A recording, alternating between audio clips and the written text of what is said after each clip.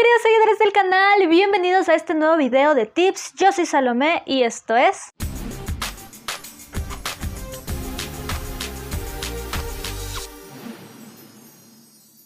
Antes de continuar, no te olvides dejar tu me gusta, suscribirte al canal y activar la campanita de notificaciones. Y ahora sí, dejando esto de lado, hoy estoy feliz como todos los fans de Marvel porque al fin llegó en Disney Plus Latinoamérica la saga de los defensores.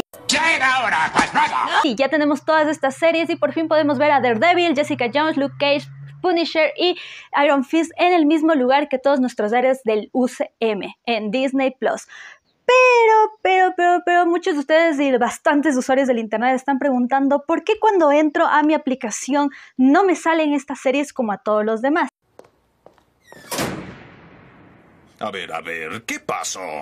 Eso es porque las series de que mudaron de Netflix ahora a Disney Plus tienen mayoría de edad o algunas más 16. Lo que pasa es que en Disney Plus Latinoamérica no había la opción de cambiar esto solo hasta más 14, caso contrario de lo que pasaba en Europa, donde ellos sí tenían hasta más 18 ya que estaba dentro estar de la plataforma. En el caso de nosotros tenemos el estar afuera, por eso no era necesario poner este, esta mayoría de edad dentro de calificaciones, pero ahora que llegaron las series, pues ya lo pusieron y aquí te voy a enseñar fácilmente cómo activarlo.